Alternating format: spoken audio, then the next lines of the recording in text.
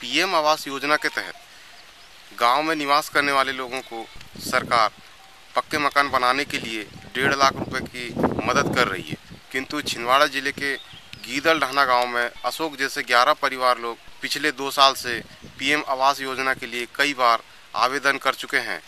आवास से संबंधित ये समस्या है हमारे वार्ड नंबर 11 में, क्योंकि इस वार्ड नंबर 11 में अभी तक किसी को पीएम आवास योजना के अंतर्गत किसी को सुविधा नहीं मिली है।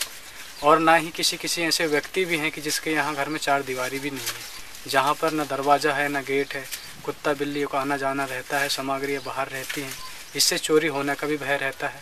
सोने को व्यवस्थाएँ नहीं है, बारिश के समय पानी से बचने के लिए जगह नहीं है, बारिश आती है तो टपकता है नीचे, जिससे दाना पानी गीले भी होते हैं। मजबूरन कभी कभी ऐसा भी आता है कि जो भी सामग्री रहती है, दूसरे घर पर रखना पड़ता है।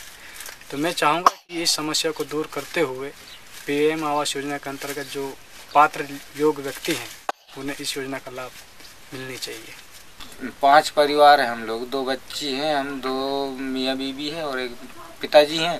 और मैं टूटी बोटी झोपड़ी में रह रहा हूँ वैसे भी और मेरे घर बांधने के लिए कोई समस्या कोई बता ही नहीं रहे सरपंच सचिव लोग।